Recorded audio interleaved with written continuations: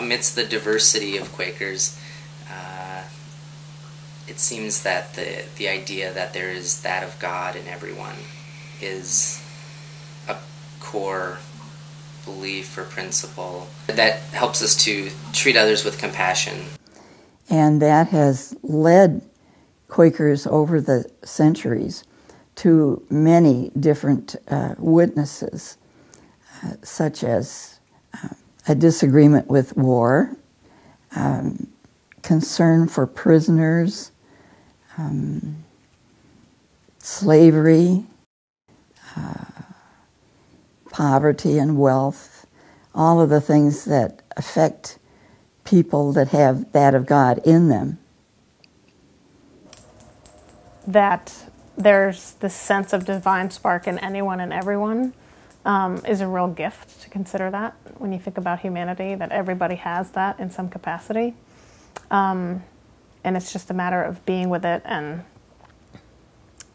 experiencing it and finding it and sharing it. Um, so for me, that's a really strong calling.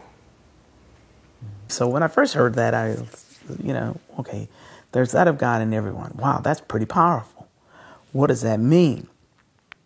And it has, uh, you know, as simple as a phrase is, it's pretty complicated in that it has lots of different meanings. And sometimes um, I have a hard time seeing that of God in other people.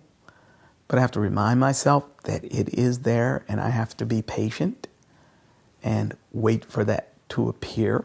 I'll challenge myself and say, well, you think that there is God in everybody, even a person who does X, Y, and Z?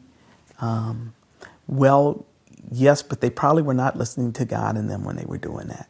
I don't know, like what kind of vocabulary people feel comfortable using, whether it's like God or the light or just um, just some kind of like um, energy or something in all people, and there not being uh, any kind of like hierarchy at all. There is a divine spark in each human being that is in direct communication with God.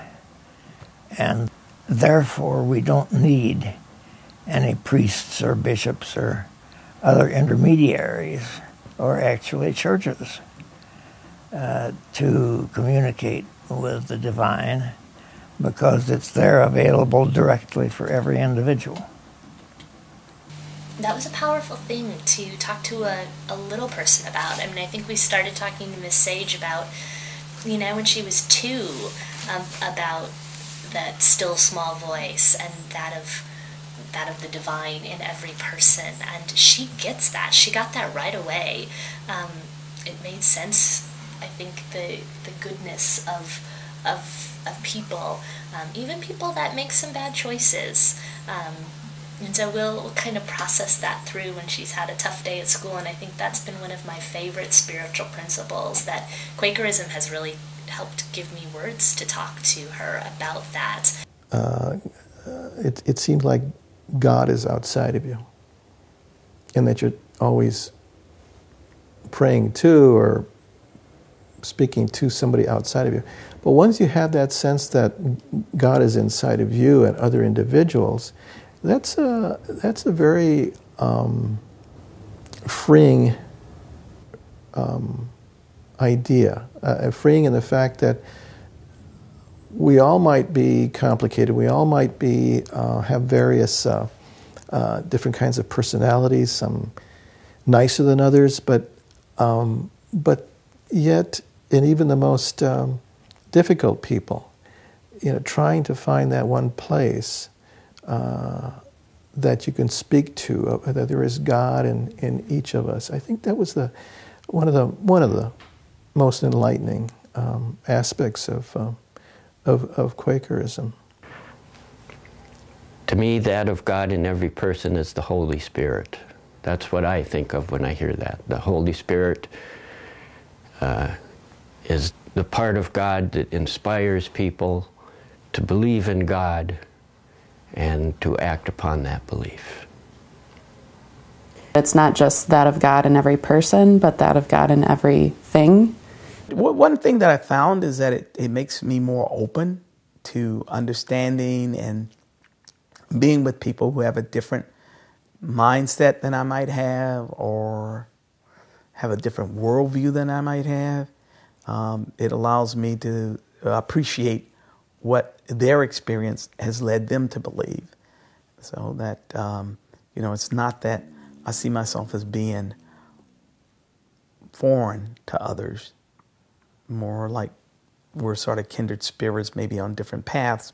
I think that everybody has uh, capacity to be good or evil, and I chose I choose to try to look for that the good in in others.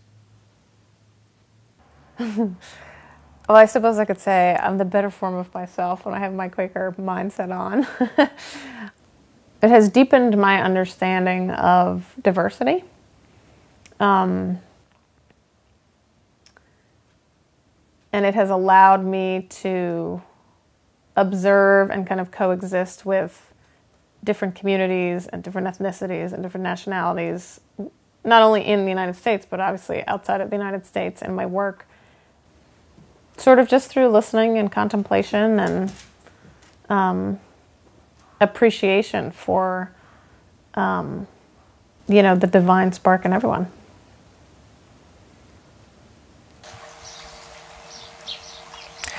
I think Quakers believe that there is a higher force field, by whatever name, God or whatever you call it, and that human beings participate in that force field, and that that force field, as we say, that of God, is in every boy and every girl and every man and every woman. And that touches me more than anything else. That's what I love about friends. That's why I will be.